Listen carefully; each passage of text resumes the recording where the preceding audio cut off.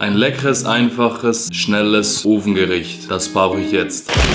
Wir nehmen uns ein paar Kartoffeln, halbieren sie und kochen sie für 10 Minuten. Nehmen uns ein paar Spargel, schneiden den hinteren Teil ab, geben sie in eine Auflaufform. In die Mitte legen wir Lachsfilets und zum Schluss noch unsere Kartoffeln. Nehmen uns eine Schüssel, hinein kommt Olivenöl, Salz, Pfeffer, Knoblauch und der Saft einer halben Zitrone. Geben es darüber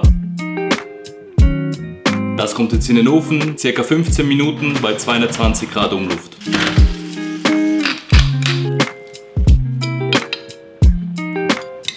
Lachs, Spargel und Kartoffeln aus dem Ofen.